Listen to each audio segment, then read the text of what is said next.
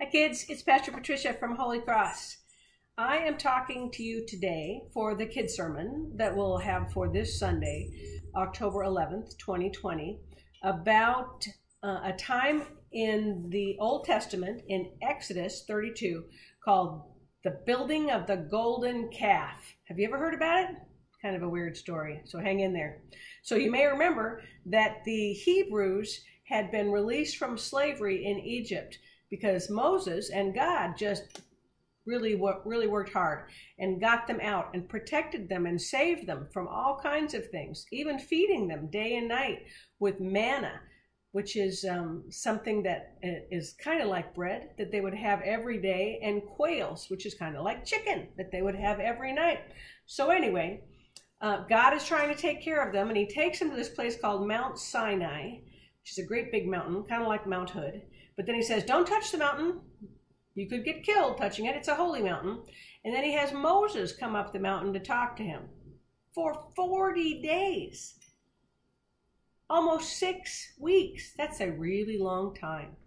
And they get worried. So let me read a little bit to you out of the message. It says, When the people realized that God was taking forever and coming down off the mountain, they rallied around Aaron, that's Moses' brother, and said, Do something, make gods for us who will lead us. That Moses, the man who got us out of Egypt, who knows what's happened to him? Wow, they're really scared.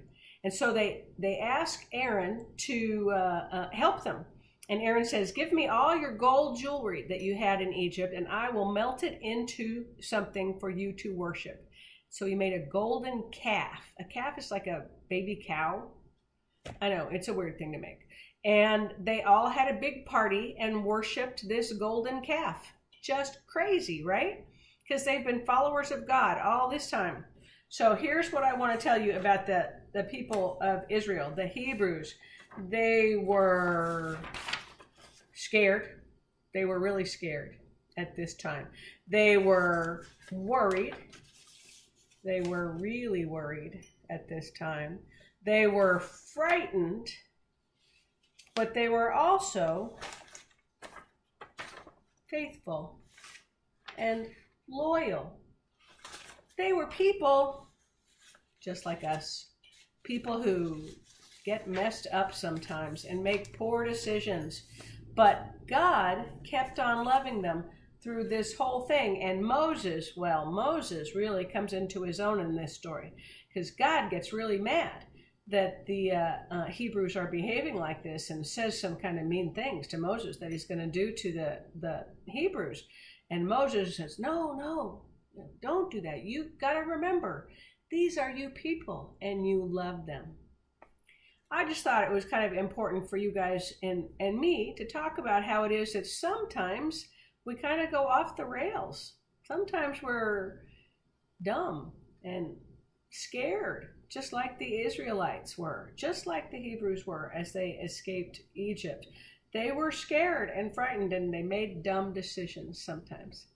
But I like the way Moses steps up and tells God, No, don't forget. They've always loved you, and you, even more important, God, have always loved them. So that's what I want you to take away with you today is to remember that even when you mess up, because I'm pretty sure you mess up once in a while, I do, even when you mess up, God loves you all through that. And God will show God's love to you and help you come back closer to Him. What do you think? Pretty good idea, huh? All right, let's pray. Dear God, thank you for loving us. It is what makes all the difference. Be with my friends, care for them Help them to grow in love for you, and when they're scared, help them to remember you have never forgotten them.